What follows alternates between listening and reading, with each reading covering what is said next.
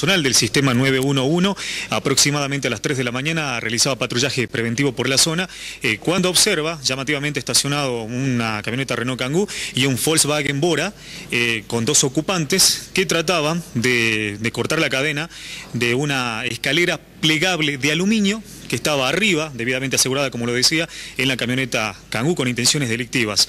Al ver la presencia policial, inmediatamente arrancan el auto, se dan a la fuga, se inicia la persecución.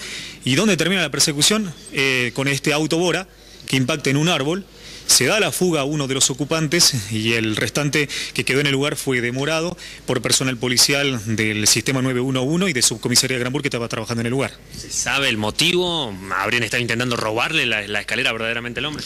Exactamente, con intenciones serias de robarle, teniendo en cuenta que cortaron eh, una sola cadena que tenía eh, este lugar. Y es algo llamativo porque el damnificado de 70 años manifiesta en la denuncia que la radicó a las 5 de la mañana, que tres semanas antes habrían intentado también sustrarle con resultado negativo esta, esta escalera.